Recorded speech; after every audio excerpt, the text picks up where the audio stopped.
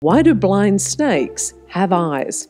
No, it's not a trick question, and we can turn to evolution to give us an answer. Blind snakes are small, non venomous, and spend most of their lives underground, relying on their sense of smell to get around.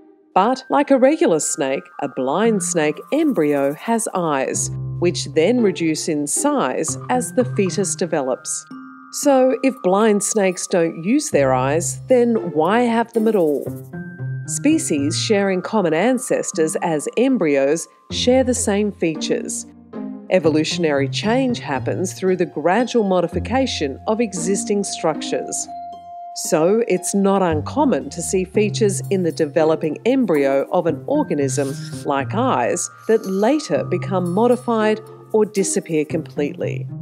Human embryos, for example, have a tail in the early stages of development, in common with other species with whom we share common ancestors.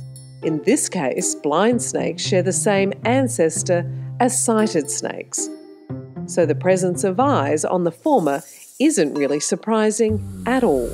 The Australian Academy of Science, because questions need answers.